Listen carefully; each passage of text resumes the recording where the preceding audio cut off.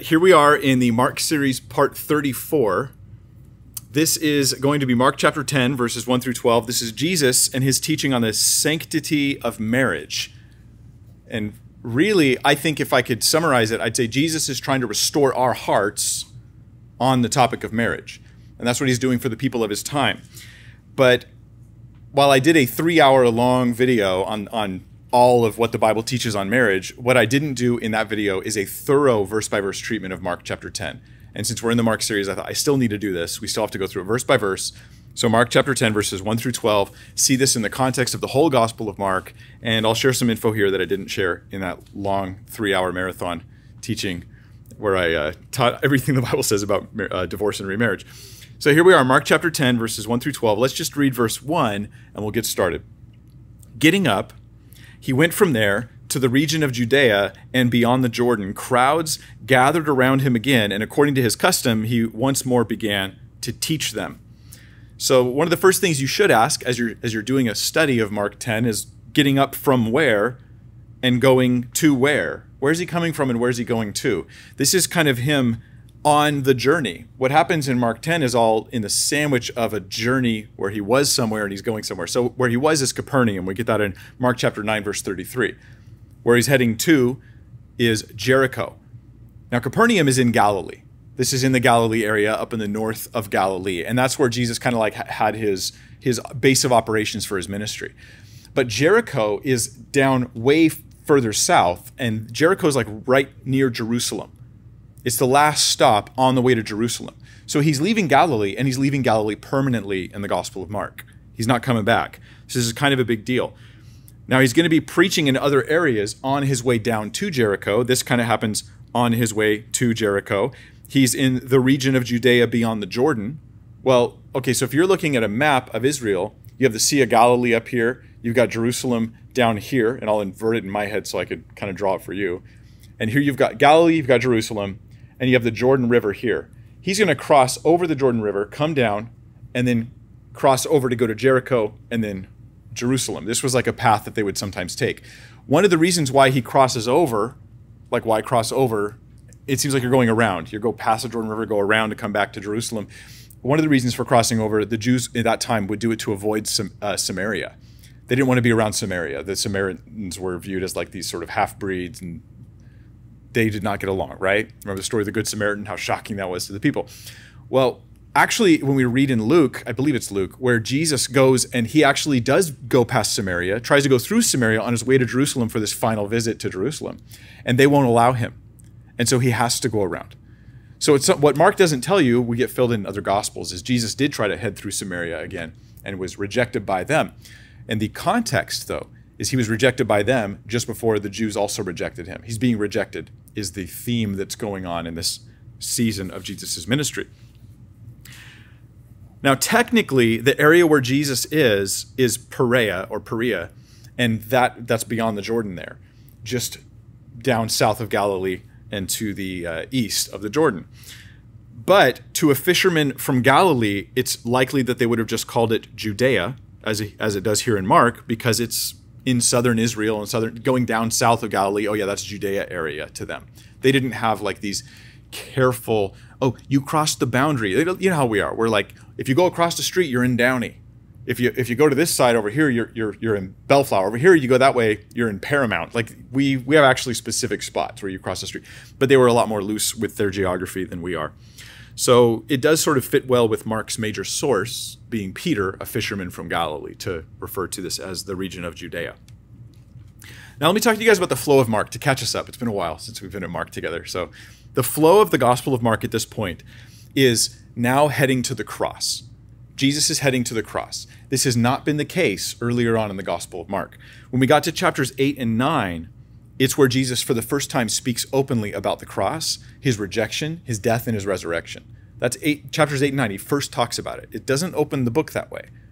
It suddenly comes up in chapters 8 and 9 because that's we're shifting things. In chapter 10, right here, he leaves Galilee not to ever to return, never to return to Galilee again, at least not until after his resurrection. He does have an appearance in Galilee, probably the appearance of the 500.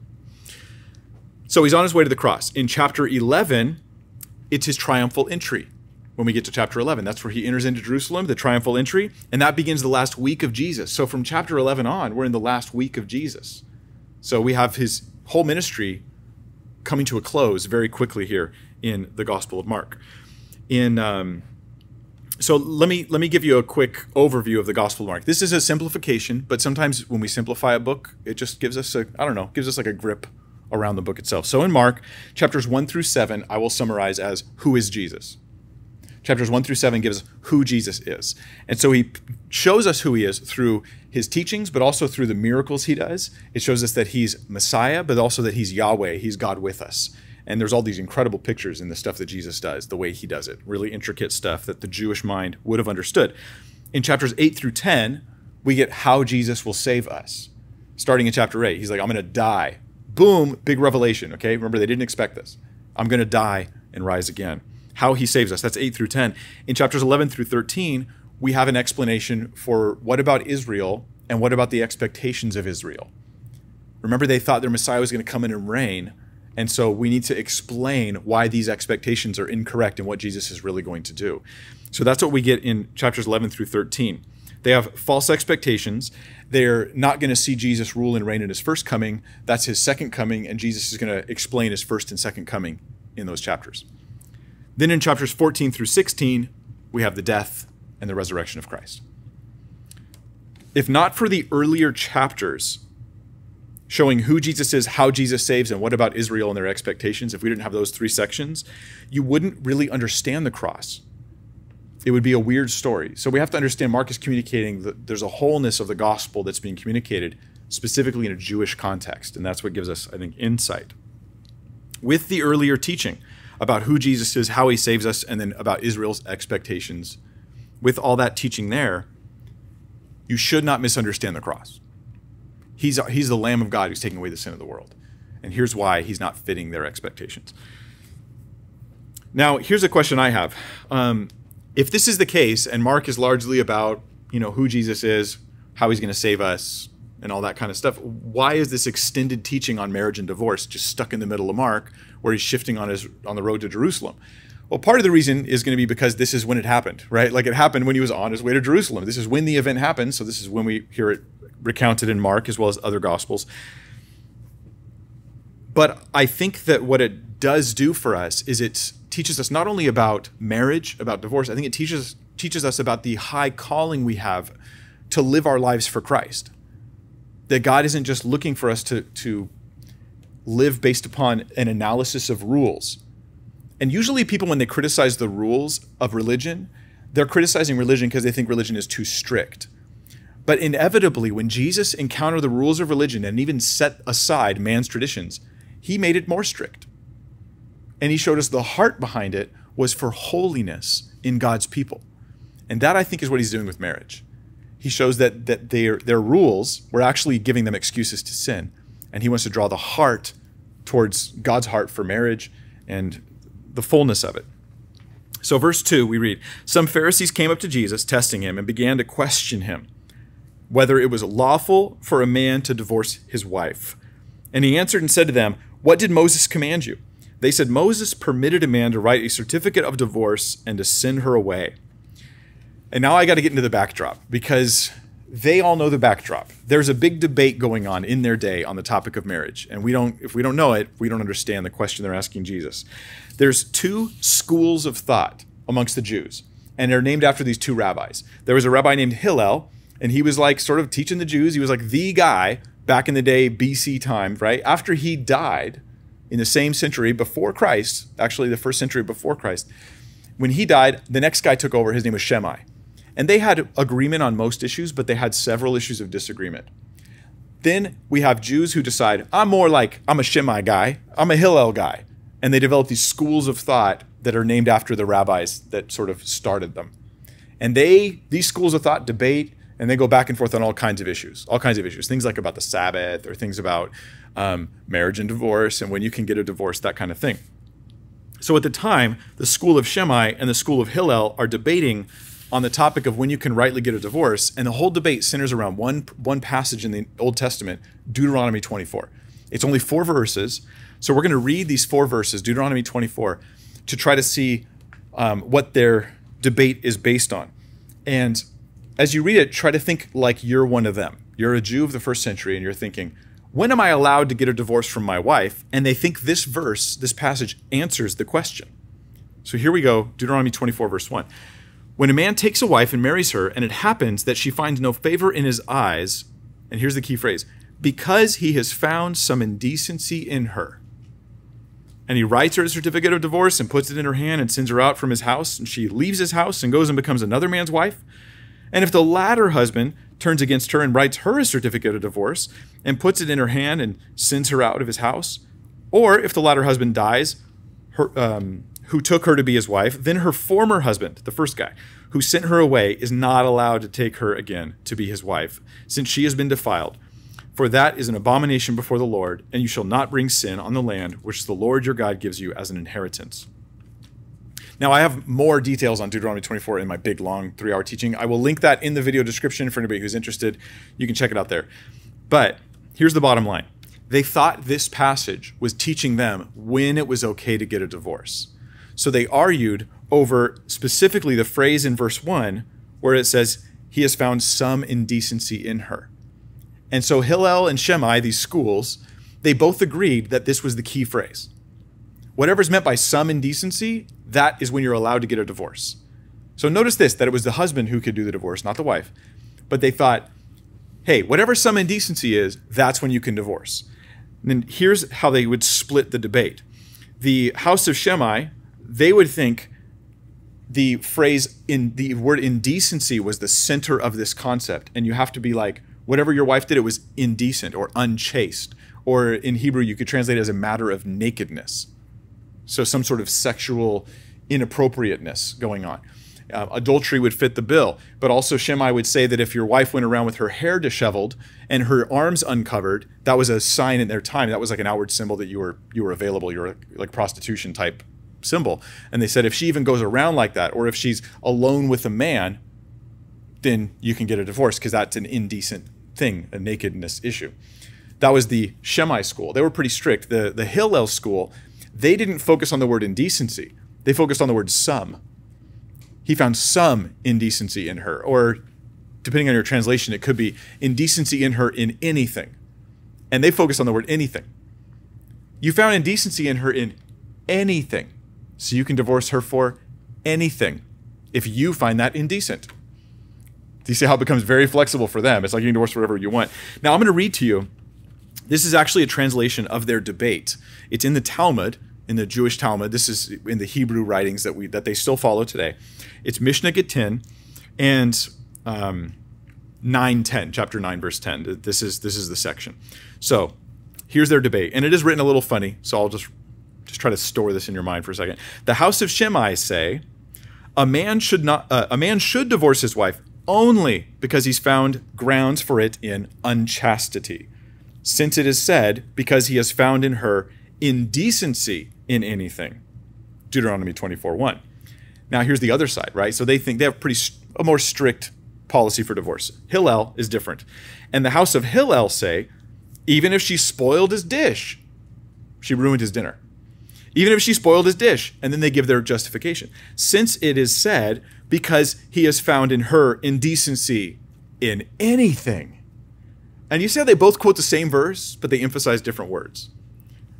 You know, Shammai emphasizes indecency, Hillel emphasizes anything. Then and usually in the Mishnah, when they have an, a debate, an argument, the person who speaks last is the one who has the weightier argument or the one who kind of wins. Well, here's the last person to speak is a third guy named Rabbi Akiba. And he says, even if he found someone else prettier than she, since it is said, and it shall be, uh, and it shall be if she find no favor in his eyes. And, and that that is his interpretation is oh no forget the phrase some indecency. There's another verse there's another section before that. He finds no favor in his eyes. So he doesn't like her anymore. So this is the debate that is going on when jesus is walking the earth. And when they say is it lawful for a man to divorce his wife? what they really are saying is is hillel right that a man can divorce her anytime she wants and that divorce is basically the right of a husband to be enacted anytime he wants that's the that's the question they're asking. Now, to add more weight to this, it seems as though during the time of Jesus that this any matter divorce, they call it an any matter or anything divorce, divorce for any reason you want, that this kind of divorce had become the most common way divorce was actually done in real life. Like the normal people were using this mat, this form of divorce. We read about it in Philo and Josephus. Uh, Philo's before Christ, Josephus will be after Jesus, writing after Jesus. And in both of them, they mention that divorce can be done for any reason. And so we have two different guys writing in different locations who are saying the same thing from that Jewish mindset. So that's the point. This is a debate about Matthew about Deuteronomy 24 and when in Mark 2 they say, is it lawful for a man to divorce his wife? What you could t- interpret this to mean is, is it simply a man's right to say, I divorce you whenever he wants? Is it a right of a husband? Divorce is a right. That's, that's really how they're viewing it. In Mark 10 4, it says Moses permitted a man to write a certificate of divorce and send her away. The way that they summarize Moses, right? Moses, yeah, Moses allowed a man to do this. So a man has a right to do this. He can do whatever he wants. Their view is seen right there. Any reason they want, they can get a divorce. This is the popular view of the time. And this is very important. This is what Jesus absolutely rejects. You can't just divorce for whatever reason you want, it's not a right. And this is the context of his later statements when he goes on in this chapter and he talks about committing adultery. The scenario is you divorced for any reason you wanted, and then you got married, that was adultery. That's the context of that statement. So it's not that Jesus is opposed to any and every possible divorce, it's rather that he is opposed to divorce for any and every possible reason. That would be my short summary of that. Um, now, this debate gives us one reason to see that Mark has a summary of an ongoing and specific debate question in the first century in Israel right? Knowing that this background is there, that these rabbis in the in one first century BC were their their schools were debating still in the first century AD, and then they're encountering Jesus, asking him about it. This is what we get, and we can support this with uh, Matthew 19, 3. Because if we see Jesus' statement on marriage in context of this debate, it does change how we see what Jesus is saying. Slightly. We still see his main points the same, but we, we no longer think he's ruling out every possible reason for divorce and saying you can never get a divorce under any circumstances. He's just saying, pun on words here, you can't just get a divorce for any reason. That's what he's saying, that that's what's wrong. Uh, but Matthew 19, 3, they actually seem to quote the same things that the, uh, the Hillelites were saying. It says, So some Pharisees came to Jesus, testing him and asking, Is it lawful for a man to divorce his wife for any reason at all. And Matthew is just giving us more details, right? The, the Jews who read this originally in Mark might have just known what he meant. Matthew's giving us more details. So the next question I have when I'm studying the Gospels is but is Matthew giving us more details on the same conversation? Or is this a different time they talked about marriage and divorce, right? Is Matthew really giving us more details? I can read that on the Mark as well. Well, it is actually a parallel passage. Let's read Matthew 19, 1 through 3, and we'll see the travel details mean that the stuff in Matthew 19 is the same conversation as, as Mark chapter 10. It says in Matthew 19, 1, When Jesus had finished these words, he departed from Galilee and came into the region of Judea beyond the Jordan. Same place, right? Judea beyond the Jordan. And large crowds followed him, and he healed them there. And some Pharisees came to Jesus, testing him and asking, Is it lawful for a man to divorce his wife for any reason at all? There's also another uh, thing to support this theory that this is clearly the debate. The context of Jesus' statement is the Hillel and Shammai debates. And that is that Matthew, it's normal for him, whenever he talks about the same thing Mark does, whenever he has the same account as Mark, he usually makes it longer. He usually adds some kind of details. So he tends to offer more details where he overlaps with Mark. So in this case, he's doing the same thing. He's, he's uh, giving us some details that we don't have in Mark about it being for any reason at all. Good. Let me let me wrap all that up in a bow, with a bow, I should say, and give you the bottom line. The question they're asking Jesus is not, Jesus, can a man ever get a divorce? The question they are asking is, can a man get a divorce for any reason he wants? That's the question. When we put it in that context, all of a sudden, the super strict policy that no Christian can ever get a divorce it doesn't seem to be what Jesus is talking about. I don't think that that's what he's talking about at all. And I'll, I'll explain more of that uh, here, but also my big giant video has all kinds of details that people can have. And they may want to watch that. It, may, it seems like it's a three hour video, but if divorce matters to you, it's going to be worth it for your time to get all that the scripture says about it. All right, let's look at verses 5 through 9, and we'll see how Jesus answers the question. The question is Is divorce the unqualified right of a husband? That's the question. And it's un, just so you know ahead of time, he doesn't side with Shammai or Hillel. He has his own teaching on this topic. That's my understanding of Jesus here. In verse 5, it says, But Jesus said to them, Because of your hardness of heart, he wrote you this commandment. That was not certainly the Hillel or Shammaiite view. They didn't think this was some permission because of hardness of hearts. They thought it was a right. Verse 6 But from the beginning of creation, God made them male and female. For this reason, a man shall leave his father and mother, and the two shall become one flesh. So they are no longer two, but one flesh. What therefore God has joined together, let no man separate.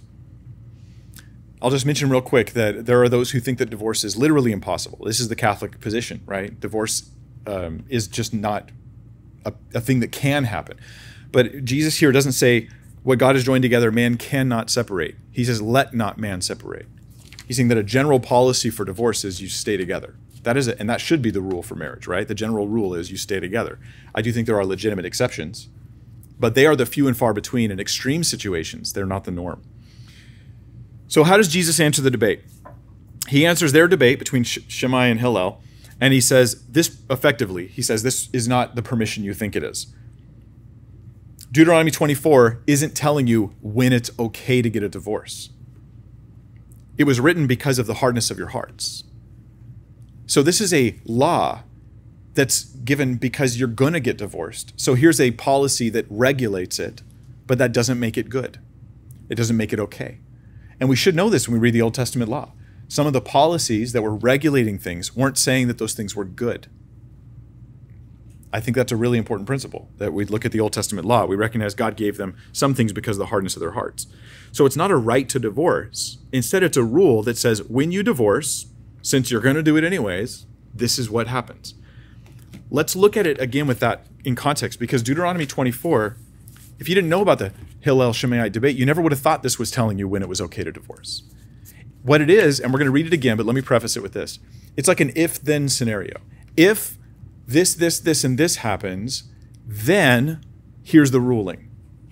And that's all we're getting in Deuteronomy 24. It's not when you can get a divorce at all.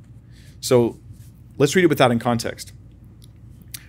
It says here in verse 1 When a man takes a wife, this is the when. Here's a scenario. When a man takes a wife and marries her, and it happens that she finds no favor in his eyes because he's found some indecency in her, and he writes her a certificate of divorce and puts it in her hand and sends her out from his house, and she leaves his house and goes and becomes another man's wife, and if the latter husband turns against her and writes her a certificate of divorce and puts it in her hand and sends her out of his house, or if the latter husband dies who took her to be his wife, then it's an if then scenario, right? We got the if. She gets she gets a divorce, she gets married to someone else, he dies or divorces her. Then her former husband who sent her away is not allowed to take her again to be his wife since she's been defiled for that's an abomination before the Lord. And so what we're getting here is a text that's saying you can't have your wife go become another man's husband and then come back and become your wife again. Now, this could be for a variety of reasons. Why is this the policy? Um, it's possible, and I lean this way. I don't know for sure if it's if it's true, but it's possible that there is um, a type of prostitution going on where they would send his you'd send your wife away and they have like an overnight marriage. I divorce you, wife, and you go and you sleep with that man, and then he goes, I divorce you, and then you come back and now you're mine again. And, and you might think, well, that's far fetched, but they do this even now in the Middle East. It's like a problem in, in Islam where they would do the they do these like 24 hour marriages so they could sleep with women and call it moral. And so this would this would mean that she can't even come back to him as a husband, which which would be for her benefit in that case, in my opinion, in that kind of situation. But um, but yeah, it's not at all a teaching on when divorce is okay. It's rather an if then scenario with a ruling about a woman going back to her former husband after having a second husband. That's it. It doesn't even say she can't marry a third husband, it just can't be him. She could marry a third husband in this scenario as well, just not the same original husband. And there could be other reasons for that. So, this is the popular view um, during their time is that it gives a reason for divorce, but it, Jesus seems to reject it. He just seems to outright reject it. So Jesus, the way he answers the debate is not to side with Hillel or Shammai. He says, look, the reason Moses wrote this wasn't as like an analysis of when you can get a divorce. It was just because you're going to get divorced because of the hardness of your hearts. Ideally, with two Christians, there is never going to be a need for divorce because Christians means they're following Christ. Because two people following Jesus, living for Jesus, would never have a good reason to get a divorce. Ideally. But as we know from 1 Corinthians, the ideal isn't always the reality in a church, right? Or even in a, a Christian marriage. And how many people have gotten married to someone because they were Christian? I only know I only know them for 10 minutes, but I know they're a believer and they love the Lord, so let's get married. What could go wrong? Well, I mean, they're not Jesus, so I mean, and so things can go uh, pretty pretty scary. But ideally, if two people are following Jesus, their marriage will be okay. I mean, that that I think is a safe claim to make. But unfortunately, having the name Christian doesn't mean you're following Christ. So this is totally different than how Hillel and Shammai handle the debate. Jesus does not look to the concession um, of divorce in Deuteronomy as a right to divorce. He sidesteps that debate or he reframes it. They assumed that some uncleanness in her gave a ruling on when divorce was like morally permissible.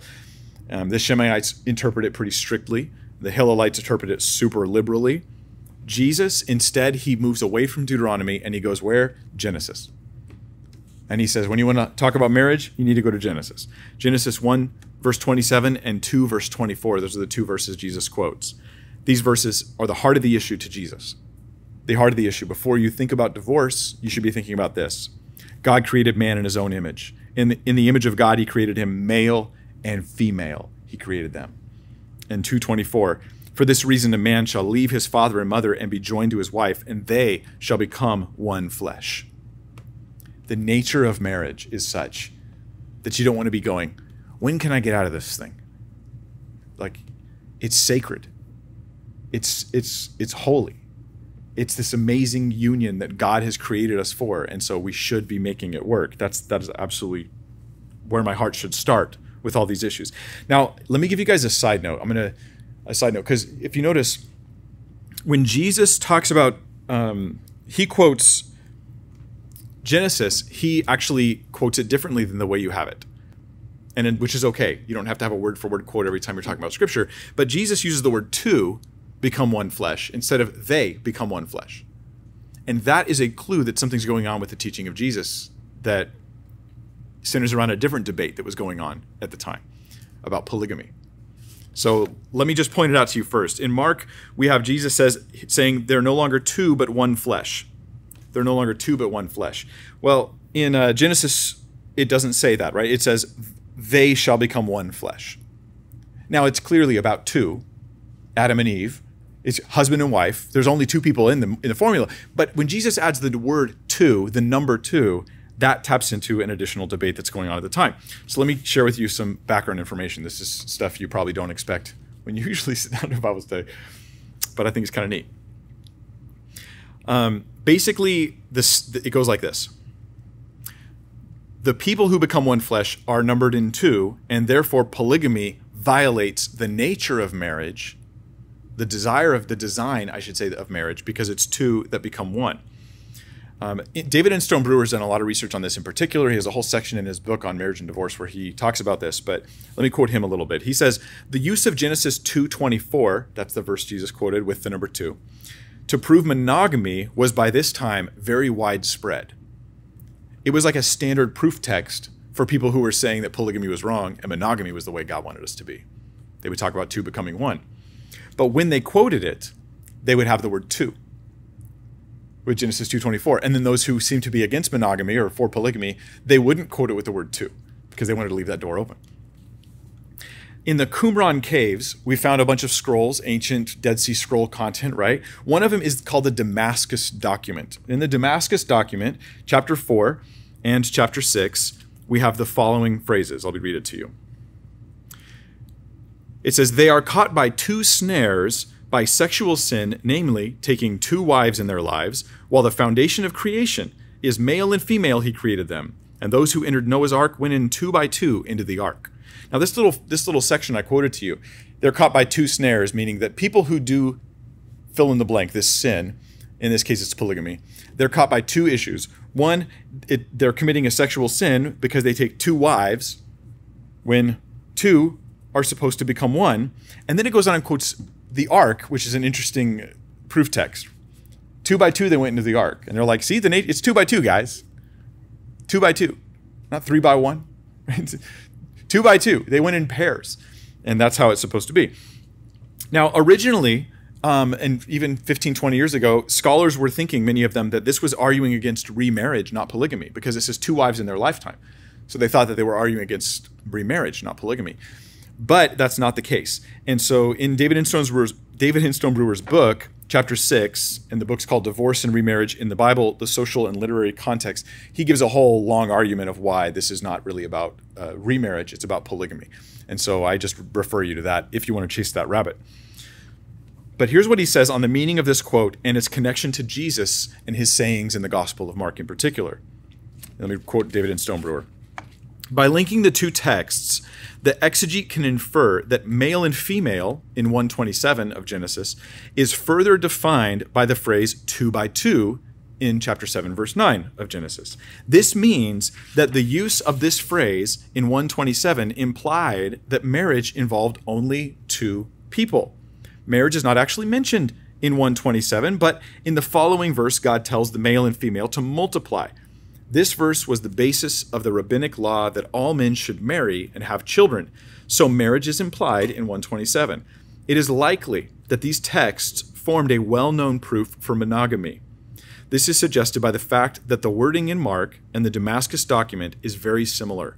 Both Mark and the Damascus document cite exactly the same portion of Genesis 127, and they both precede the quotation with a very similar phrase Mark refers to the beginning of creation. Remember how Jesus said, at the beginning of creation, it was not so. While, and I'm quoting him again now, while the Damascus document used the phrase, the foundation of creation, to introduce the topic. They are semantically identical. So, in other words, the Damascus document and some people writing, you know, the Qumran scrolls, they're saying monogamy's the way, Genesis proves it. Here's our proof text. And they seem to be, Jesus seems to be echoing the same things that they were saying at the time. Meaning, uh, and, and it's not like we have to think everything Jesus said originated with him. It's not like he's the only one to say things. The thing is that the verbal connections between Jesus' argument and their argument imply that Jesus really is arguing for monogamy against polygamy, as well as trying to restore our hearts on marriage. So I think that that's worth noting. It's worth noting.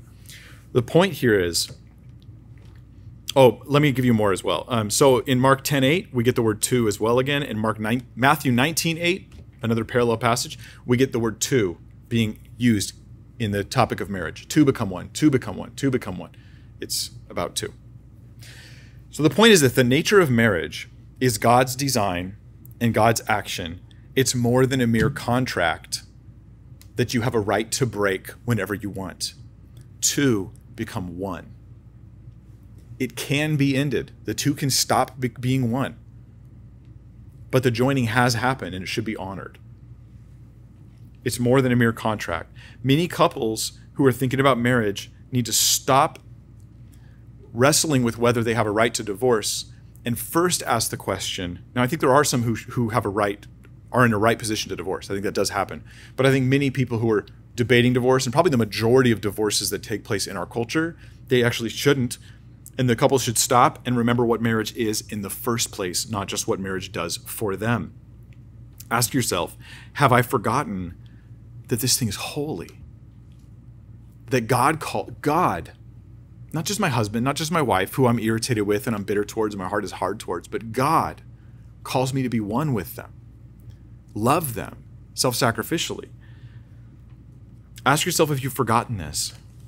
That relationship of seeing that God is the one that joins them. He's the act, he's the one joining them, right? It means that my relationship, while it's between two people, it really involves a third, God. And when I see that, and I, it gives me the, for me as a married man, it gives me the ability, the capacity to say, I will love my wife for him, even if I'm having a hard time finding it in my heart to love her for her because of my bitterness. Not that I've ever been bitter, ever, about anything or anyone in any way, ever. But I can imagine that would help someone else if they were struggling. Um, so I'll share that, you know, for you guys. Um, therefore, don't separate what God's joined together. Um, now, so any matter of divorce, clearly Jesus blows us out of the water. If you think divorce is just a right, um, well, I'm not happy, so I'm getting a divorce, or we have mutual disagreements, so I'm getting a divorce. Like, that's immoral. It doesn't mean you didn't actually get a divorce, but it was wrong. You should have stayed together. You shouldn't have done that. Not as a Christian, not as a follower of Jesus. And I'm not trying to uh, control everyone's lives. We're talking about what's right and what's wrong here. And that doesn't change whether we like it or not. We should strive to keep the unity. Our culture is so selfish that they do think it's a right to divorce. They do think it's like, well, me, me, me. I'm not happy. And I'm just not happy with them anymore. And I think I deserve to be happy. And we start with a focus on me, not on the Lord, with a focus on me, not on what this marriage actually is. And then we, well, no wonder why the marriage is falling apart. The purpose of the marriage was serving me instead of the two of us, you know, picturing what God has created in this oneness and this glory and this beauty, the relationship of Christ in the church, and then serving Him in my marriage. You know, you can get away with being more selfish when you're single, but when you get married, like a lot of those selfish things become very obvious to you. And you're like, golly, you know, what's, God, I wasn't expecting this. And that's pretty normal for married couples to experience that for a while and you learn that it's not about you and that you you have an opportunity to die to yourself. When here you thought you're going to be like, you complete me. But in reality, sometimes marriage is more like, you hack off large portions of me, you know, portions of me that are probably ungodly and that probably shouldn't have been there in the first place. But that is many times the nature of marriage. All right, back to verse 10. We'll finish off these last three verses. It says, In the house the disciples began questioning him about this again. So they went to, you know, in private, they're like, Jesus, we got some problems with your teaching. And he said to them, Whoever divorces his wife and marries another woman commits adultery against her. And if she herself divorces her husband and marries another man, she's committing adultery. Jesus, he adds now a new concept. He was talking about just divorce is, you know, problematic, but now he's like, look, if you do it and marry another, Jesus does this in all four of the biblical accounts of him talking about marriage and divorce. In Matthew, in Luke, and in Mark, uh, twice in Matthew. He talks about this every time. You divorce and marry another, that's adultery. He always mentions that. I think we can summarize it this way If you get a divorce, it doesn't necessarily free you from your moral obligation to your spouse. You may well be morally obligated to, to get back together. That divorce may be wrong. Now, there can be justified divorces. We'll talk about that in a second. But if you're in that state where you're not justifiably divorced, then to marry another is an adulterous act. You're still divorced from them, but because he said you get divorced, so you're divorced. But you do it and you marry another. Or if you get divorced to marry another, which this is what happens so many times. I've talked to people who are on in a in a rough and troubled marriage. And so often the reason why they decided to just say, okay, fine, I want a divorce was because they found another prospect, another guy, another girl who they started letting into that like wife type space.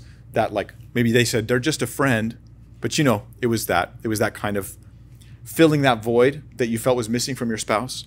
And then you let them into that space, and now, now I feel the curse to divorce. And I've seen him swear up and down. Well, it's not because of them. I'm divorcing for my own reasons. And I'm like, whatever you got to tell yourself. But we all know, we all know the truth, and your family knows the truth, and everybody, everybody God, and God knows the truth.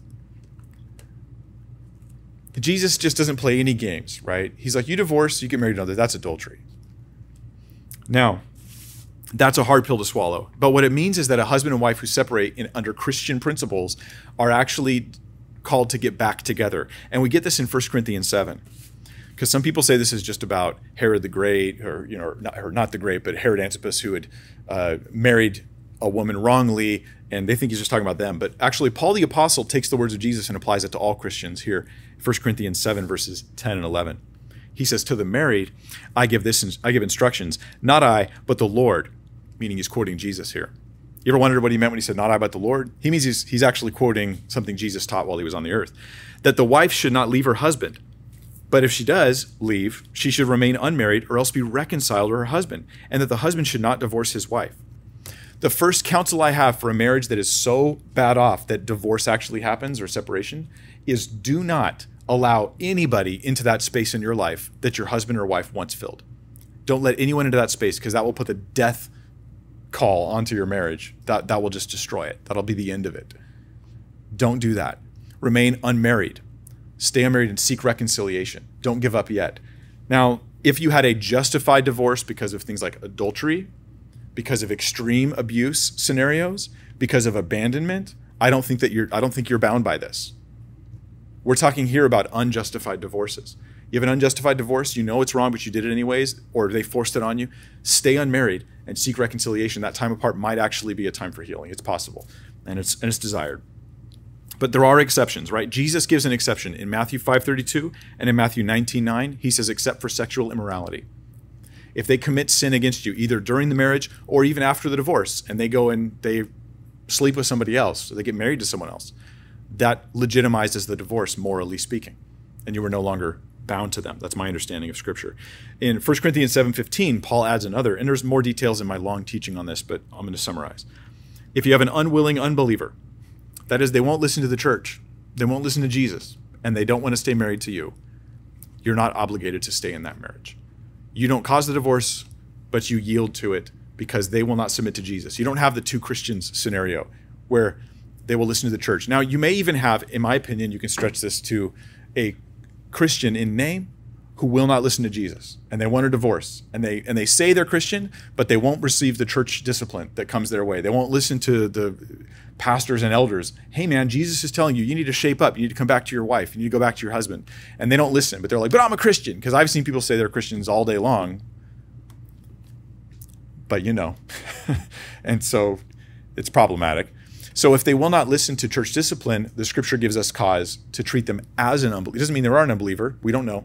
But we treat them as an unbeliever. That's Matthew chapter 18. Jesus is like, yeah, look, the person won't listen to, to you, won't listen to the elders, won't listen to the whole church. Treat them as an unbeliever. Let him be to you as a heathen and tax collector. That's what it means. Treat them as, you don't hate them, but you categorize them as an unbeliever. Well, Paul's advice for unbelieving, unwilling spouses is that you are free from that commitment if, if that situation happens in 1 Corinthians 7.15. Um, there's some other things to mention. These are rarities. The, the these exceptions, the adultery, um, extreme scenarios of abuse, or unwilling unbelievers who want out of the marriage. Those are exceptions. Those are not common things. They're rarities. Most divorce is immoral, and therefore, most second marriages were immoral when you entered them. That would be a biblical teaching on this. Now, if you've entered an immoral marriage, it was wrong to, to get married, you stay married. That is also a biblical principle. You shouldn't have done that. Well, you did it. Just like if you marry, you shouldn't marry an unbeliever, but if you do, you then we're rooting for that marriage and we're praying for that marriage and we want it to be a beautiful, wonderful, good marriage. And I say the same thing's true about a wrongful second marriage. It doesn't remain a wrongful second marriage the rest of your life. It was a sin you committed, and now you need to honor this marriage commitment. And uh, that's another controversial issue, which I get into more detail on in the big long video, which I will link below. And this also applies to women as well as men. This isn't just about men or women, it's about both, right? Um, because Jesus applies it both ways. She divorces, he divorces, whichever way it goes, it applies to both. The heart of marriage, then, is union from God. And no two Christians, both walking in obedience, will ever need to divorce. No two Christians walking in obedience need to divorce. Well, we're both walking in obedience and we need to divorce. Well, you're probably not. You're kidding yourself. You're kidding yourself.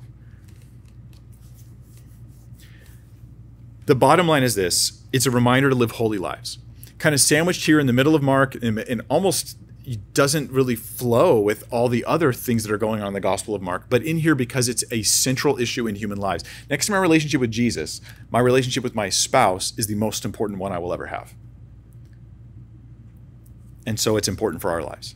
And that we don't be like the world who have all these millions of excuses, millions of ways out on, on divorce and remarriage, and we, we just honor Christ. God, you've made marriage holy. You've said the marriage bed is undefiled. This thing is holy. This thing is to become one. It's more than just an agreement to live together until we decide we don't like each other. And our call is not to live good person lives as Christians. It's called to, we're called to live for God. My whole life for God. This is such a good reminder for me, especially for those of us, many because of quarantine and stuff right now, you're not in fellowship. You're largely being exposed to the world a lot of the time. The media that you're watching, the stuff that you're consuming, and the worldly way of thinking a selfish, self centered life where you try to be a good person, but there it's not good in the sense of a life that is lived for God, fully I belong to God with everything that I am. I'm going to be a living sacrifice unto God. Like that's our call as Christians. It's so much more than like the version in the world of be a good person. And this is a good reminder for us. Jesus takes marriage and says, "What God has joined together, let not man separate." Like it's about it's about the Lord. It's about the Lord. And when we get our hearts centered on that, that's sanctification. That is the work of the Holy Spirit within us. So let's pray. Father, we thank you for your word. We pray that you'd help us to um, see the relationships in our lives, Lord, um, especially marriage. See it the way you see it.